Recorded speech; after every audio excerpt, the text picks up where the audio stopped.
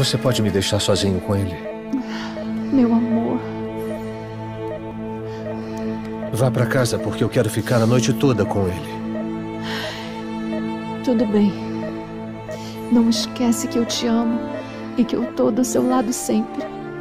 Não esqueço. Eu também amo você.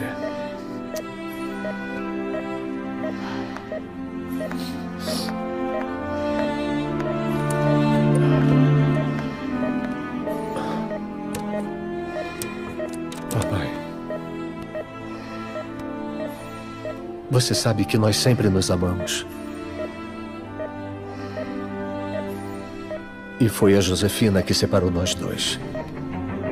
Me solta! Olha, por que não vai viver com a sua mãe e deixa a gente em paz? Você aqui não tem mais espaço! Essa casa é minha! Não, seu pedelho, essa é minha casa! E eu não quero garotos malcriados como você! Me dá essa bola! Me dá aqui a bola! Me dá a bola! Olha o que eu faço com a sua bola, seu pedelho! Viu, viu? Muito cuidado com o que vai dizer ao seu pai, porque se falar, você e sua mãe vão se arrepender. Se manda daqui! Sai daqui! Agora ela tentou nos separar de novo, mas nós não vamos deixar. Desde que eu voltei, você não fez outra coisa a não ser me dizer a cada instante o quanto me amava.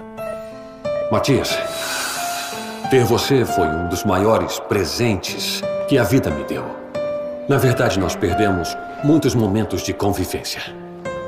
Mas eu não quero olhar para trás.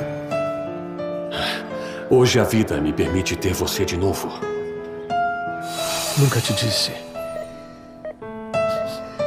O orgulho que sinto por você. E o privilégio que é ter um pai como você. Por isso, me dá a chance de dizer agora para você. Por favor.